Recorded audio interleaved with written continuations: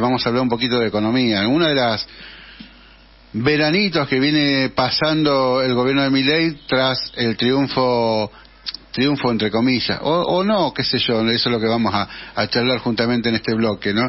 Es la eh, el cambio de estado de ánimo, me parece, ¿no? Porque eh, se vio un poco ganador y eh, en un principio habían subido un poco las acciones, eh, pero me parece que esto todo fue un veranito, un veranito eh, post elección de la ley de base, por votación de la ley de base. No sé cómo lo ves vos, Alberto.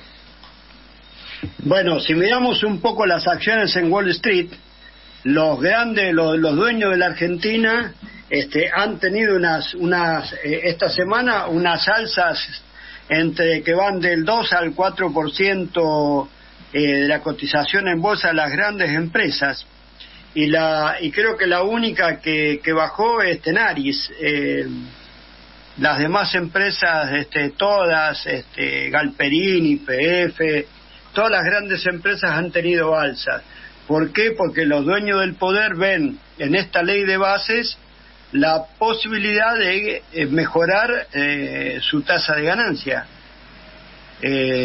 ahora, ahora la realidad de lo que está de lo que está sucediendo tiene que ver más que nada con con que la aprobación de la ley de la ley de esta ley de bases de, estas leyes todas regresivas eh, han logrado el, el, apoyo de las grandes empresas, pero no han logrado este, conmover al Fondo Monetario Internacional que todavía le está pidiendo que atienda a la, pobreza, le está pidiendo que, haga, eh, a pesar de que le pide que, se ocupe de la pobreza, también le pide que haga otro ajuste, un ajuste más, y le pide que libere el cepo para que libere el dólar. Y eso, este, si este gobierno lo hace, eh, toda la fantasía que están montando alrededor de la baja de,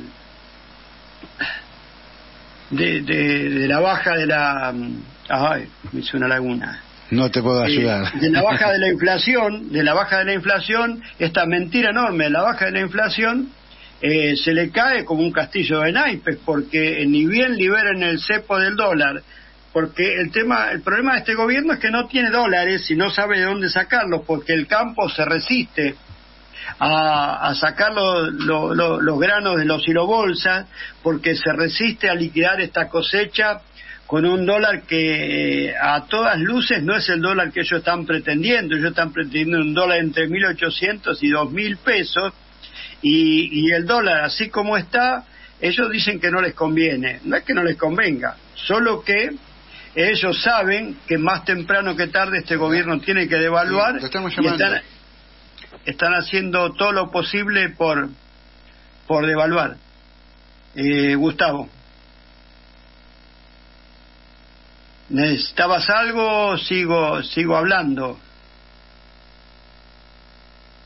Bueno, Sí, eh, perdón, estábamos acá con, con un problema técnico, ahí ahí lo solucionamos y, y seguimos. Mientras te escuchábamos, Alberto, eh, sí, la, la verdad que eh, a mí me da la sensación de que eh, el la alegría de la votación de eh, la ley de bases le duró muy pero muy poco.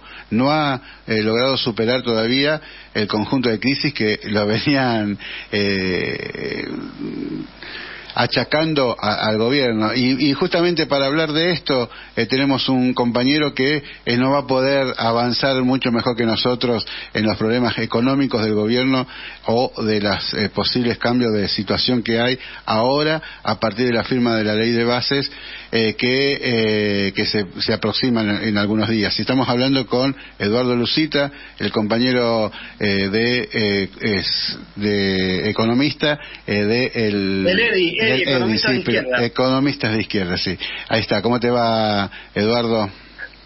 Hola, ¿qué tal? ¿Cómo les va? Gracias por el llamado. No, gracias a vos por, atender. Te saluda Alberto. Hola, hola. Y, Gustavo. Si queríamos ver un poco en qué situación estamos eh, eh, una vez aprobada la ley de bases, ¿no? Por un lado, si el gobierno está tan fortalecido, fortalecido como eh, aparentemente quiere mostrarse, y por otro lado, cómo estamos los trabajadores. Mira, desde el punto de vista, el gobierno necesitaba la ley de bases. En realidad necesitaba cualquier ley que le aprueben porque necesitaba tener un éxito en ese sentido. Bueno, le aprobaron eh, la ley de bases, que es la piedra angular de todo su proyecto. Este, esto fue acompañado por el arreglo con China, que era una espada de Damocles, porque si, si entraba, si entraba en este, en default con China, eh, las relaciones con el fondo se iban al diablo. Incluso lo que trascendió en algunos mercados internacionales es que el fondo intervino, habló con los chinos, con Xi Jinping o con alguno de ellos, para que le renueven el swap a la Argentina, porque si no se caía todo. Y no tienen interés en que Argentina se caiga. Así que, bueno, eh, están jugando valores internacionales muy grandes. Bueno, pero salió la ley de bases. La ley de bases es, muy importante. Tiene dos planos. Uno, la delegación de facultades y la otra, que es lo central, el corazón del proyecto de mi ley, es el RIGI, el régimen de, de incentivo a grandes inversiones, ¿no? Porque con ese, si se aplica eso plenamente, van a dar vuelta a la estructura económica del país y por lo tanto también la estructura laboral. ¿no? Si llegaran a, hay que ver cómo llega esto, porque ahora esa ley tiene que, primero, tiene que pasar la semana que viene por diputado a ver qué cambio le hace. Después hay que reglamentarla. Ustedes vieron que muchas veces hay leyes que salen muy bien y la reglamentación desnaturaliza todo. Entonces vamos a ver qué es lo que se reglamenta. Y después viene la aplicación de la ley, que no es que se va a reglamentar y al otro día llueven los dólares de inversiones. No, va, es todo un proceso. Es, es un proyecto de, de mediano o largo plazo.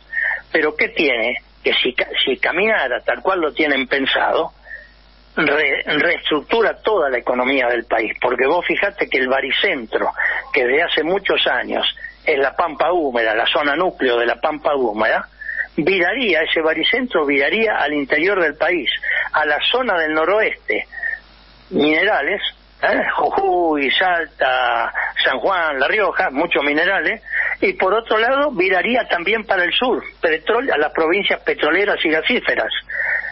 Este, entonces, la entidad que tiene hoy la Pampa Húmeda se perdería, porque además la Pampa Húmeda no entra en este proyecto. Ahora, si eso pasa, Argentina se convierte en una economía de enclave, tipo Nigeria, exportación de recursos naturales eh, sometido por el capital extranjero. Es un proyecto de desnacionalización, de entrega de los recursos naturales y de desnacionalización también. Entonces puede ser que haya creación de empleo en la zona del noroeste del país, en, esto, en estas provincias que necesitan creadores de empleo, un poco más de creación de empleo en este en el sur con el gas, con el petróleo, pero ¿y qué va a pasar con el empleo en la industria, por ejemplo? La industria no entra en este proceso. Y vos fijate que tampoco entra en términos políticos la provincia de Buenos Aires. Entonces, ¿qué va a pasar ahí? O sea, es un proyecto muy complejo, por supuesto. Eso es en el largo plazo. Ahora, en el corto plazo, el gobierno tiene que pasar el Rubicón de la crisis actual. Con esta semana que ha tenido ciertos éxitos y ha respirado un poco, uno puede decir, bueno, está en la mitad del río. Ahora, sabemos que la mitad del río suele ser el cauce más profundo de todos. Y para llegar a la otra orilla, tiene que resolver la crisis actual. La economía argentina está tocando fondo. Ya el fondo, el fondo, la redundancia, el Fondo Monetario acaba de decir ayer que la economía va a caer el 3.5% este año y que se corre el riesgo de entrar en un estancamiento duradero. No sé cuándo el fondo dice duradero cuántos meses serán, pero eh, quiere decir que no es que se tocó fondo y ya se empieza a recuperar todo, no, puede quedar estancada donde está la economía, ¿no? Y eso con un crecimiento de la desocupación. Entonces, acá a mí me parece que el punto central de aquí a fin de año es si el gobierno logra evitar la devaluación. Tiene presiones, el Fondo Monetario presiona para la devaluación y la burguesía agraria presiona para la devaluación. Los últimos cálculos que salieron esta semana dicen que mm, los productores tienen metido en silobolsas 19 mil millones de dólares a la espera de la devaluación, en cereales, ¿no? A la espera de la, de la devaluación. El otro día decía, no sé si era Lustó quien decía, la única industria que está funcionando a pleno es la industria que fabrica los silobolsas, porque hay una demanda tremenda de silobolsas para guardar la cosecha a la espera de mejores precios, producto de la devaluación, ¿no? Ahora, si el gobierno logra evitar la devaluación, es una cosa y todo el proceso pasa ya el año que viene, ¿no? Y bueno, veremos. Ahora, si no logra evitar la devaluación, empieza todo de nuevo, porque va a tener que ajustar de nuevo, le suben todos los precios de nuevo, la devaluación impacta en, la inflación para arriba, se le deteriora el superávit fiscal, el déficit fiscal cero, porque todo además está agarrado con alambre, no es que es una economía cierta solidez. Se mantiene, pero haciendo, tiene una estabilidad muy inestable, digamos, ¿no? Ahora, eh, eso es lo que tiene que ver eh, quizás eh, en, lo macro, ¿no? la verdad yo de economía hace muy poco, ¿no? Pero, pero después en lo que tiene que ver con, el día a día, porque lo que preocupa mucho también es el aumento de los servicios, que se decían que este mes va, va, a afectar, el, el aumento, la disparada de, de la inflación, bueno, también usted ya lo, ha tocado, la, la una nueva devaluación Eh, todo eso, ¿en qué medida eh, logra aplacar el apoyo social eh, que viene logrando el gobierno para avanzar en, las medidas que, que va tomando?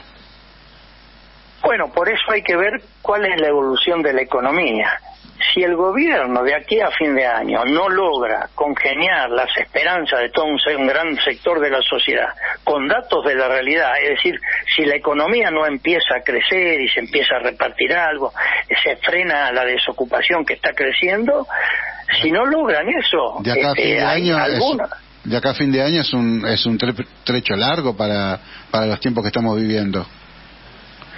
Sí, sí, pero bueno, pero es, la realidad, es la realidad.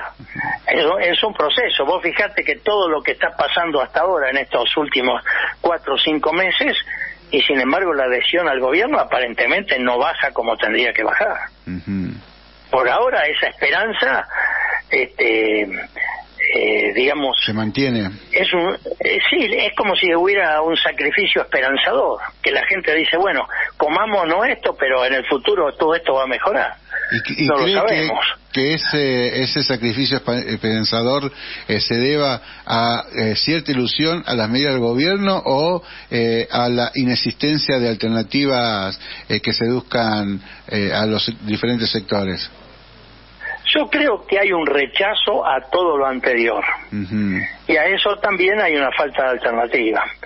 No se ve eh, a dónde, qué podría pasar si el gobierno se cae. No se ve. Porque hay declaraciones de Cristina Fernández que ha dicho que, que hay que ser cuidadoso, porque si el gobierno se cae, nosotros, dice, o sea, ellos no lo reemplazan. Nosotros no estamos en condiciones de reemplazarlo en este momento. Entonces, ¿quién va a agarrar? A dónde vamos a ir a parar. Este, es una situación muy muy complicada, muy muy complicada, ¿no? Y las fuerzas que más combativas, más clasistas, son no no tienen la densidad social que tendrían que tener para enfrentar esto. En realidad lo único desde el punto de vista popular que podría cambiar esto es la CGT. Pero bueno, la CGT hemos visto que está fraccionada está, fraccionada internamente en tres sectores. Hay una cosa que es este, que es un cambio cualitativo. En otra época, cuando había gobiernos de derecha, como fue en el caso de la dictadura de Onganía, se partió la CGT, surgió la CGT de los argentinos. En la época de Menem se partió la CGT, apareció el MTA por un lado y después la CTA. Hoy la CGT no se, no se ha roto, se mantiene unida, pero con fuertes fracciones internas. Porque por un lado vos tenés la fracción, digamos, colaboracionista total con el gobierno. Cavalieri, eh, Sacía de la Unión Ferroviaria, Cejas de, de Correo y Telecomunicaciones, Martínez de la Boca, ese es el sector más, más colaboracionista. En la otra punta vos tenés la alianza que hay de, de Pablo Moyano, el ESMATA, los aceiteros, la UOM, que se manifestaron el otro día. Y en el medio tenés lo que le llaman la mayoría automática, ¿no? Este, DAER, el de UPCN, eh, eh, Barrio Nuevo, bueno, Lingieri, esa gente, ¿no? Este, o sea que hasta ahora, dentro de ese nivel de, ruptura, había una alianza muy débil entre el sector de la mayoría automática y, y el sector de Moyano, porque eso se manifestó, por ejemplo, en el paro del 24 de enero que además tuvo por primera vez, no fue un paro corporativo, fue un paro que convocó a muchos otros sectores de la sociedad. Después vos tenés la participación de la CGT el 24 de marzo, un hecho inédito en 40 años. Llenaron la Diagonal Sur. ¿no? Después vos tenés el primero de mayo. ¿Cuánto hacía que la CGT no hacía una movilización del acto? Pusieron 300.000 trabajadores en la calle y hubo gremios como UPCN y otros que era infernal la cantidad de gente que pusieron. Yo estuve ahí, recorrí toda la movilización. Ahora, de golpe, esa alianza entre el sector de la, la mayoría automática y Moyano parece que la semana pasada se rompió. Se rompió. Así que bueno, estamos en esa dinámica, pero no hay, yo no veo por lo menos, desde dónde puede salir otra fuerza que se, que se oponga con fuerza, valga, valga la redundancia, al proyecto que tenemos enfrente. Eh, nos quedamos en una condición bastante eh, lamentable, ¿no? Los trabajadores los sectores populares, porque eh, no solamente que no se ven las perspectivas de, de una corriente clasista, las que hay tienen muy poca fuerza y muy poca incidencia, sino que el, el gobierno eh, tampoco está fortalecido eh, y, con, eh, con, con, la posibilidad de avanzar victoriosamente hacia el logro de, su, de sus, eh, sus planes, lo cual eh, genera una contradicción tremenda, ¿no? Que por un lado un gobierno de derecha que, que avanza en contra de los eh, sectores obreros y en contra de nuestro patrimonio, nuestros recursos naturales, no encuentra oposición aun cuando hay muchos sectores que, que que están cansados de las condiciones de vida que, estamos sufriendo los trabajadores. Una situación, una contradicción tremenda que, que en algún momento se tiene que resolver. No hay, no hay posibilidad de conseguir algún, eh, algún hecho. Eh, en, la, en, la, vida no hay vacíos. O se avanza hacia la concreción de, eh, o, vamos hacia una derrota histórica ¿no? Eh, decía, ¿no? O vamos a hacer una derrota muy dura para el movimiento obrero o se logra la reconstrucción, pero no hay posibilidad, no se ve eh, de dónde poder armar esa reconstrucción, ¿no? Que vamos a hacer... Sí, sí, es un tema muy difícil, muy complicado, fragmentación y la crisis identitaria también que hay, ¿no? Ahora, el miércoles 12 hubo otra cuestión que tiene que ver con esto, que es este que la ministra Bullrich eh, subió la calidad y la intensidad de la represión, ¿no? Para amedrentar inclusive las acusaciones de terrorismo, de, intento de golpe de Estado, los presos, este, están amedrentando, ¿no? al movimiento popular el miedo a, manifestarse, porque lo que dijeron el miércoles que bueno, a partir de ahora la, la represión va en serio, ¿no? Y en menos de dos horas desalojaron la plaza. Este, porque además era parecía una guerra, ¿no? La, la cantidad de gendarmes, policía de la ciudad, policía federal, en fin, era fue una y, que además provocando, porque provocaban a la gente para poder reprimir, ¿no? Este, ese es un tema complicado y además ahora viene la indagatoria Beligone, creo que es el 25, ¿no? Que eso, eh, la intención que tienen es meterlo preso y, eso va a ser otro golpe. Ya en todo el movimiento piquetero, la gente tiene mucho temor a salir, a, perder el plan o a perder lo que sea, y además le tienen mucho miedo a la represión. Este, o sea que están apuntando en todos lados. Se ve que este se ve que estos seis meses que vienen van a ser muy complicados económicamente y entonces bueno están avisando que no van a aceptar más este cortes y bueno cosas por el estilo. ¿no? Eduardo, una pregunta. ¿Cómo ves vos la relación del, del pedido de evaluación del dólar por parte del agro, por parte de, los sectores este, del campo, de las multinacionales del campo y, las decisiones que pueda tomar este gobierno en esa, en esa dirección, en la cual también está metido el Fondo Monetario Internacional y amplios, y amplios sectores del, del imperialismo? Claro, la forma en que el gobierno evite la devaluación es que vengan fondos, que venga dinero. Por eso le está diciendo a, los, a los eh, productores, liquiden la cosecha porque no vamos a devaluar, liquiden la cosecha ahora. Porque además ellos necesitan, si logran que, que liquiden la cosecha, no, eh, no necesitan devaluar. Por otro lado, están mendigando plata por todos lados. Han ido 15 veces al fondo a pedirle 10 mil, 8 mil, 15 mil millones de dólares. El fondo le dice, bueno... Fueron a robar a, China, sí. Sí, sí, porque si entraba en el default con los chinos, esto se cae como un cachillo de naipes. No, no, claro. Este, bueno, no sé si escuchaste, bueno, antes que ustedes me llamó otra radio, sé que no sé si lo expliqué allá o acá, pero este, ahora se sabe que el que habló con los chinos fue el Fondo Monetario. El Fondo Monetario habló a China y le dije, le dije no dejen caer a la Argentina. Y entonces Xi Jinping, Monetario, ¿no? China forma parte del Fondo Monetario. Claro, pero porque además entre entre Estados Unidos hay una disputa hegemónica, pero son socios, son los que son garantes de la de la gobernabilidad mundial. son eh, disputan por un lado, pero son socios por el otro lado. Entonces, a ninguno le conviene que Argentina se caiga, porque si Argentina se caiga como se cayó en el 2001, puede haber una caída en dominó de muchas de muchos países que están endeudados también, ninguno como Argentina, ¿no?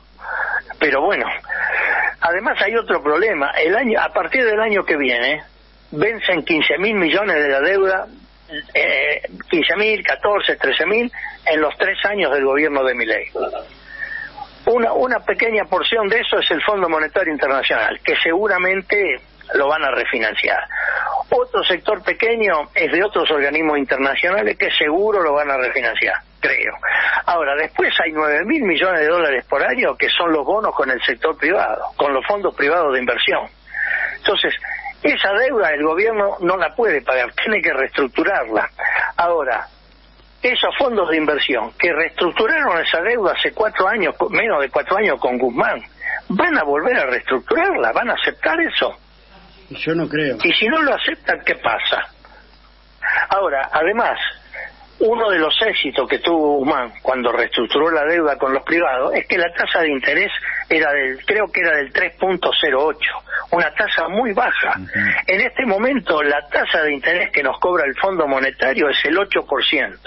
Si los privados reestructuran la deuda, no van a aceptar menos del 8% de interés.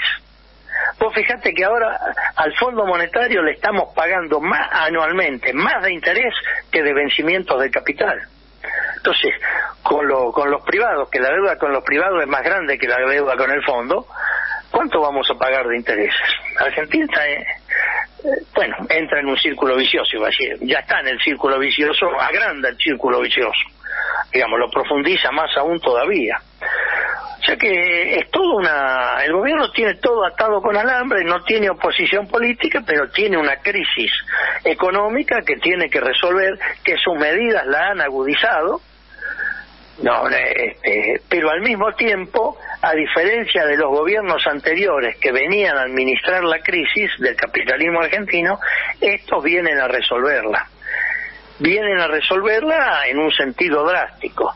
Y el apoyo que tienen eh, eh, ahora unánime del conjunto de las clases dominantes es porque las clases dominantes ven la oportunidad de cambiar en un sentido duradero la relación de fuerzas sociales a favor del capital y en detrimento de los trabajadores.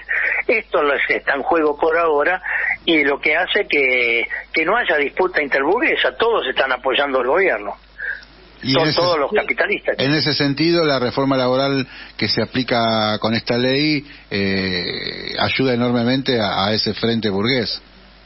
¿No hay como una africanización de la economía, Eduardo? Bueno, este, Es muy difícil eso porque el entromado productivo que tiene Argentina es muy fuerte, es muy grande. La cantidad de, pequeñas empresas industriales, el sector industrial, el sector industrial, el sector de manufacturero, los africanos no tienen nada de eso. Entonces es muy difícil. Lo mismo que cuando se decía la, la, derecha decía Argentina va a Venezuela. Bueno, la estructura económica de Venezuela no tiene nada que ver con, la, con la estructura argentina. y, en caso de y en caso de consolidarse la dinámica eh, que vos señalabas al principio, ¿no? de que va perdiendo eh, fuerza el sector agro y ganando eh, más el sector de financiero. Sí, financiero y extractivista, claro. financiero seguro, sí, sí. Extractivista. ¿Esto no implica una mayor profundización de las crisis de las pequeñas y medianas industrias? Sí, claro, y eso se va a ir verificando con el tiempo, con los años. Sí, sí, sí, claro, claro. Este, porque el, el RIGI no es de aplicación inmediata, necesita más tiempo y no creo que, que nadie invierta antes de, de pasar la prueba ácida de, de las elecciones del año que viene, a ver cómo le va al gobierno en las elecciones que, que vienen. Obviamente el gobierno en la libertad avanza va, va a aumentar su número de diputados, porque como no, no renueva ninguno, son todos nuevos, va a aumentar. Pero va a aumentar el doble si saca los mismos votos que la vez anterior o va a aumentar mucho menos, según los votos que saque. No, no, no. Tenemos que ver, por eso lo que pasa de aquí a fin de año es, muy importante. Es muy importante. La respuesta social también la respuesta social y, la marcha de la, economía tiene contradicciones propias más allá de la respuesta social. Son problemas que no lo logran resolver. Este, no lo logran resolver. Entonces, que se arrastran de hace tiempo, ¿no? Porque eh, siempre las crisis en la Argentina explotan siempre por el mismo lado. El déficit fiscal, el proceso inflacionario, la falta de dólares. Bueno, esto el déficit fiscal ahora lo han resuelto, pero han creado una contradicción fenomenal que es una caída de la economía mucho mayor de la que ellos pensaban. Entonces, ¿cómo resuelven esto? Eh, y esta caída de la economía afecta también a los votantes de ellos. Claro. Entonces, eh, ¿cómo se va a resolver eso en términos políticos? Bueno, hay que ver qué es lo que pasa este año. Al mismo tiempo, si, si devalúan, van a resolver una serie de problemas, pero van a agudizar la pobreza, la inflación, todo. O sea, está todo atado con alambre, está todo atado con alambre. Y lo que vos decías antes, que la fortaleza del gobierno es la debilidad de la oposición. Este, esto está claro. Y además el apoyo internacional, porque es indudable que es un apoyo internacional más político que, todavía, pero bueno, si uno mm, ve que el Fondo Monetario intervino ante China para que no entraran en default, quiere decir que algún apoyo de otro tipo hay, ¿no? Claro. Y no hay que descartar que si el gobierno pasa esta crisis, finalmente los dólares del fondo vengan. Sí, hay, que hay, que ver cuál es esa dinámica. Eduardo, te, te agradecemos la participación nuevamente y mandamos un abrazo. No, gracias a usted y siempre a disposición, ¿eh? Suerte, hasta pronto. Muchísimas gracias. Bueno, ahí abrazo, abrazo grande, ¿eh? Seba Eduardo, saludos también a, Alberto y a todos los compañeros que nos vienen siguiendo. Son las 8 y un minuto. Nos estamos yendo hasta el próximo martes. Chao Eduardo, chao Dai, chao compañeros.